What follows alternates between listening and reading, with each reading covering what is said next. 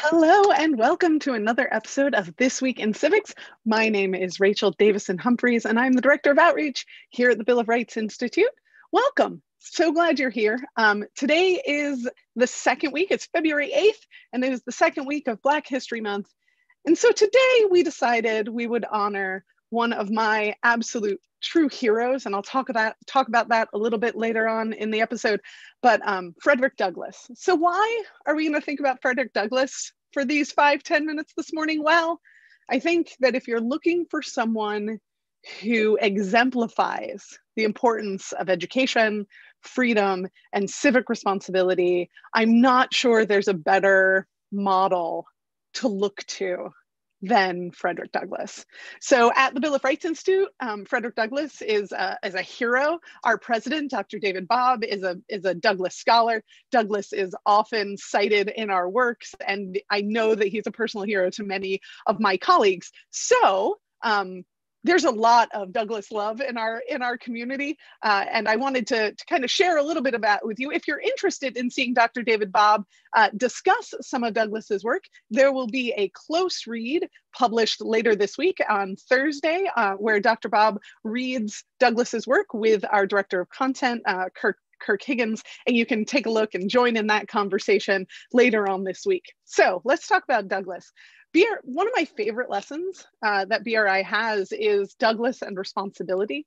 In that lesson, he says um, it, it, it, gives a little bit of a background of Douglass's life, but also uh, looks at why education was so important to him and what he thought about education. So he he once stated that once one learns to read, one is forever free. And what I love about this lesson is that they we then ask students and you to think about would he have said that being free is sufficient? What greater responsibility comes with learning? Um, how does your responsibility, what does your responsibility have to do with your education? And how will you live out that responsibility? And I think that that set of questions is a really powerful question about our role in civic and civil society. You know, what is our responsibility once we know certain things about ourselves, the lives of others, our society. Uh, and so, as you can see, I get really excited about this. But there, I mean, I have to say, I think that Douglass was probably, as an adult, the first true hero that I recognized uh, having.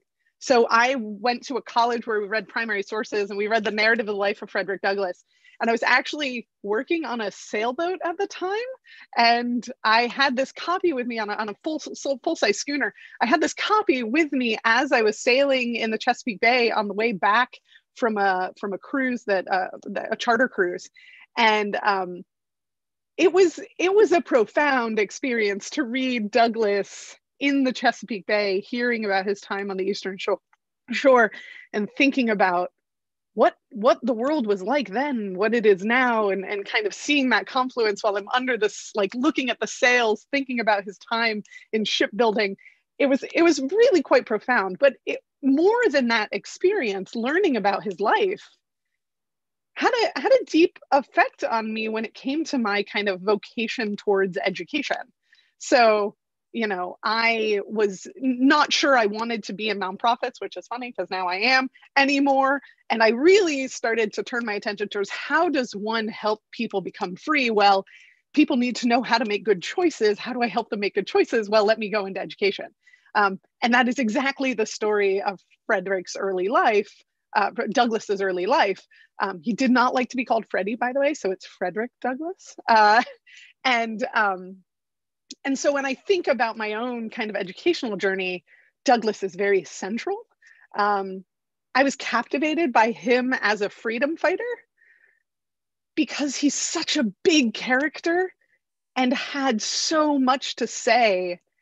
And it all came from this sense of internal fortitude and that one teacher who saw a spark in him um, his it was unfortunately uh, one of the slaveholders, the wife of the wife of the woman who who was who was uh, given him.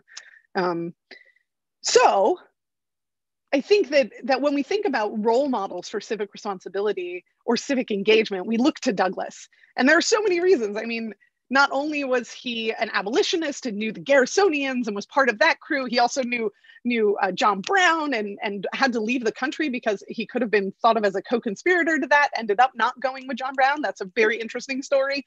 But he was the only African American at Seneca Falls, which has its own problems. But it was a it's a fascinating convergence um, of the women's rights movement and the abolitionists, and Frederick Douglass is right there in the middle. Uh, he was president of the Freedmen's Savings Bank, thinking about the role of financial education in the Black community. He was the first African American nominated to VP without his knowledge, uh, or well, he was the first vice president nominated, or Black person nominated to vice president, but it was actually done without his knowledge. He didn't know that he had been put on the ballot. Um, but he was then in 1888 the first African American to receive a vote for president at a national convention. It was actually the Republican National Convention of 1888. He received a vote, at, like someone put his ticket in to be president. Um, and then he lived out his days as a US Marshal. So when you think about, you know, where, what, what single person, I'm, I'm curious who your person is. For me, my person is Douglass. Who's your person that really exemplifies the statesman, citizen, self educated, just true American hero? Who's your person?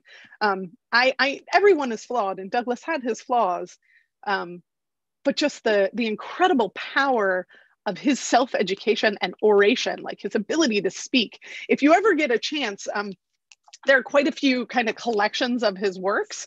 Uh, the most common one, I think, is probably this one, which is the the Penguin Classics, but I really, really recommend the uh, the Essential Douglass by Nicholas Buccola. Nick Buccola, by the way, just did a scholar talk with BRI last week, so I recommend you go and take a look at that. Uh, he's a fantastic uh, scholar, but I was actually introduced to this book at an event I got to go to. Um, called Liberty and Responsibility in the Political Thought of Douglass, where you spend three days reading Douglass with 15 other 15 other people in a hotel room. And it was such a powerful experience. Many reasons that is the case, but one of the coolest parts was that David Blight was one of the 15 attendants, and he is the he's the author of the new Douglass biography, which I also highly recommend. So, honoring Frederick Douglass, thinking about his role in our society and the history of the fight for freedom for all. And then what his own understanding of the role of education was. He credits that early those early experiences with great ideas and great texts and learning to read, not only learning to read, but learning to read incredible works. He, he uh, there was a book called The Columbian Orator, which I have a copy of somewhere. I just couldn't find it. Uh, I bought it as a gift for my husband because we're nerds. And um, he read a story in there of, uh, of a Greek slave arguing to a slave master that he should be free. And that kind of opened his eyes to that understanding, along with his study of the Bible. Um, and and and the, the ideas of Jesus and slavery um, and against being against slavery. And so, on that note, uh, I want to wrap this up. I could go on for Douglass quite a while, uh, but I want to read a very short quote where he says, "So thinking about Douglass today and the importance of him today, um, what is our responsibility?" So pulling all the way around to to freedom and responsibility, Douglass and his idea of education as responsibility. In um, in his remarks uh, delivered at the Zion Church in 1862, and then this essay was then published in January of 1863. So think about all the things that were going on in January 1863. It was published in his Douglass Monthly, which was one of the many newspapers that he started. And I'm thinking about today, and I'm thinking about our civic responsibility and he said, Slavery has existed in this country too long and has stamped its character too deeply and indelibly to be blotted out in a day or in a year or even in a generation. The slave will yet remain in some sense a slave long after the chains are taken from his limbs, and the master will retain much of the pride, the arrogance, imperiousness, and conscious superiority and love of power acquired by his former relation of, of master. Time, necessity, and education will be required to bring all classes into harmonious and natural relations. And so when we think about the importance of civic education and history education, it is to further our understandings of freedom and the responsibility that comes with that. And I'm so excited about the work you're doing, the work we get to do to further that goal. So thanks for joining me. This has been another episode of This Week in Civics with the Bill of Rights Institute, and I'm Rachel Davison Humphries. I look forward to seeing you next week. I'd love to hear what you want to talk about, so comment, like, subscribe. We'd love to, to, to hear what you're doing in the classroom, how you're using this particular episode, or any of the shows that we do on our channels. So I look